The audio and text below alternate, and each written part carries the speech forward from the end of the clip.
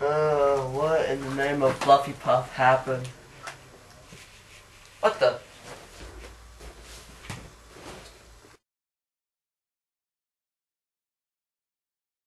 What? They turned my room into a prison. I'm a prisoner in my own room. They can't do this to me.